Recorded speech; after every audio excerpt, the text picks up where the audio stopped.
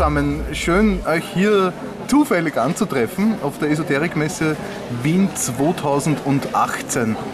Äh, ihr habt einen Schwerpunkt, mit dem ihr euch hierher äh, getraut habt, nämlich Telepathie ist euer Thema. Äh, und da bietet ihr auch Seminare neuerdings an. Telepathie, die Sprache des Universums, wie, wie kann man das verstehen? Naja, es ist so, dass diese Sprache des Universums äh, nichts anderes bedeutet, äh, dass es die ursprüngliche äh, Kommunikationsform war und, und, und, nach wie vor ist. Die meisten Menschen haben es nur vergessen, beziehungsweise es ist in jedem Menschen angelegt und es erwartet nur darauf, wiederentdeckt zu werden. Und das ist das, was wir bei den Seminaren hervorholen.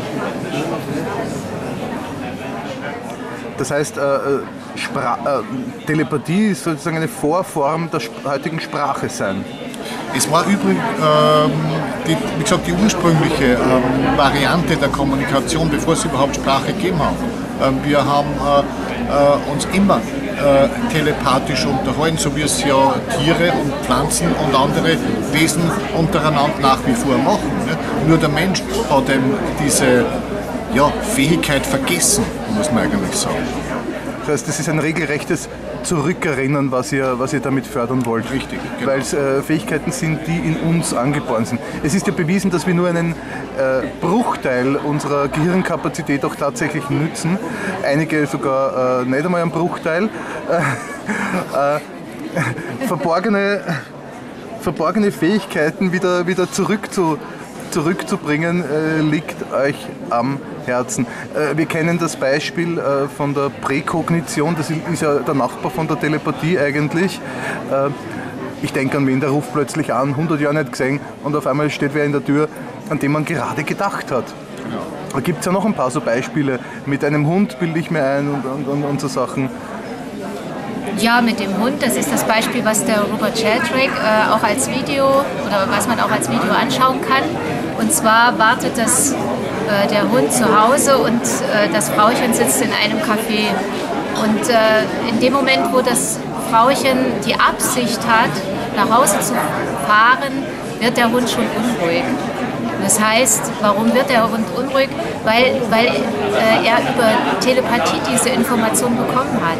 Die Tiere sind ja sehr offen dafür. Äh, mit, mit Tieren telepathisch sich zu verbinden, ist wesentlich leichter, als das mit einem Menschen zu tun. Warum? Weil wir Menschen sehr verstandeslastig sind im Alltag. Ja, wir, wir denken ständig an das, was noch zu erledigen ist. Wir denken an unsere Arbeit äh, und so weiter und so fort, an Probleme. Wir haben Angst. Das sind alles Dinge, die uns hinunterziehen und auch verstandeslastig sind. Denn es ist so, dass Telepathie nicht in der linken Gehirnhälfte stattfindet, sondern in der rechten. Telepathie äh, äh, heißt auch, dass wir Emotionen übertragen, Gedanken. Bilder, alles das, was, was äh, mit Gefühl zu tun hat und sich mit unserer kreativen Seite verbindet oder was damit zu tun hat. Das heißt, wir können unsere telepathische Fähigkeit steigern oder zurückholen, indem wir Dinge machen, die, äh, die mit kreativen Tätigkeiten zu tun haben. Ob das jetzt Malen ist, Musizieren, alles, was Freude macht. Das bedeutet Telepathie. Also äh, Verstand gegen Emotion, der ewige Kampf. Es ist ja nicht so, dass die Menschen grundsätzlich ein Problem haben, äh, telepathisch zu kommunizieren. Wir haben sehr oft äh, das auch äh, bei den Naturvölkern. Die sind ja noch nicht so in diesem Modus, oder hoffentlich werden sie es auch nicht sein, in diesem Modus drin wie wir hier in der westlichen Welt insbesondere. Es gibt eine schöne Geschichte, wie Aborigines telepathisch kommunizieren. Dabei ist es so, dass derjenige, der die Nachricht sendet, ähm, den Übermittlungsvorgang zunächst mit einem Rauchsignal beginnt, um den Empfänger auf diese telepathische Nachricht vorzubereiten. Und der Empfänger muss für diese telepathische Nachricht empfänglich werden. Das heißt, derjenige Sender äh, schickt das Rauchsignal und wartet dann ab, bis es nachts wird, bis er erwartet, dass derjenige schläft. Der Sender, der Empfänger, Entschuldigung, der Empfänger, der das Rauchsignal erhält, weiß, er muss jetzt seine Gedanken lernen. Wenn er sich schlafen legt, wird er dann die Information im Schlaf bekommen. Warum ist das so und warum funktioniert das? Weil, weil wir im Schlaf in einem entspannten Zustand sind. Das ist auch genau wieder das, was ich vorhin gesagt habe. Äh, wir sind dann fernab von diesem Zustand äh, des Alltags und des Verstandes, der Dinge, die täglich uns umgeben.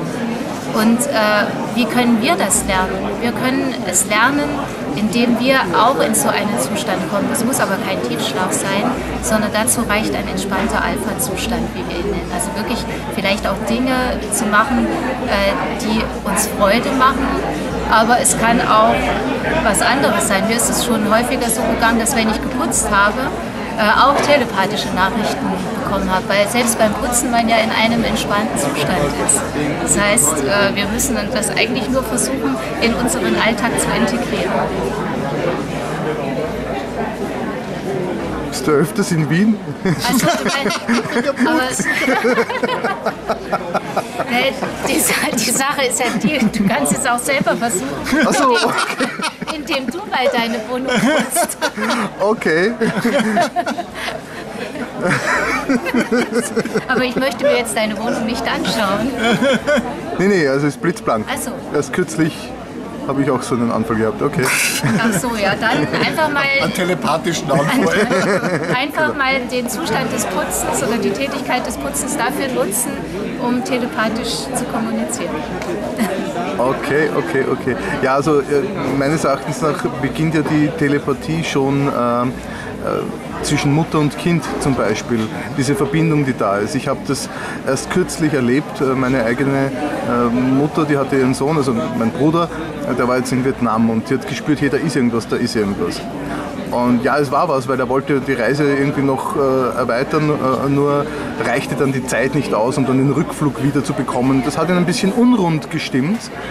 Und äh, allein dieses kleine Signal von Vietnam bis hierher nach Wien hat meine Mutter empfangen und sie hat ihn dann gleich angerufen und hat gesagt, ja, na, mich stört gerade so, ich würde gerne noch weiter vorstoßen in den Dschungel. Und Was das war's, aber es ist nichts passiert. Was aber klar ist, denn Telepathie äh, ist ja unabhängig von Raum und Zeit. Das, es ist egal, äh, ob der jetzt äh, nebenan wohnt, nebenbei sitzt oder sonst sich irgendwo auf der Welt oder außerhalb befindet. Und auch, ob der eventuell in der Vergangenheit existiert hat oder in Zukunft existieren wird. Also über, über das Leben hinaus. über das Leben hinaus. Äh, bekannt ist ja die Kommunikation mit Verstorbenen, ist genauso eine telepathische äh, Angelegenheit äh, wie eben mit lebenden äh, Menschen oder, oder Wesen. Ihr habt jetzt Seminare in Planung und äh, da demnächst Termine. Was, äh, wie, wie baut ihr die auf? Äh, wie wird das präsentiert und wann und wo? Alle Infos, raus damit. Ja, wir haben äh, in nächster Zeit mehrere Termine, mehrere Seminare. Eines hier in Wien, 8. und 9. Dezember, jeweils einen Tag. Äh, und die weiteren Termine sind in Deutschland, äh, in der Nähe von Augsburg am 12. Jänner und in München am 13. Jänner. Die Informationen dazu äh, findet man auf cosmic-society.net oder auch auf zeitenwende.events. Hurra! Sind wir gespannt, wie viele Menschen ihr an ihre telepathischen Fähigkeiten erinnern könnt. Dankeschön. Danke. Danke dir.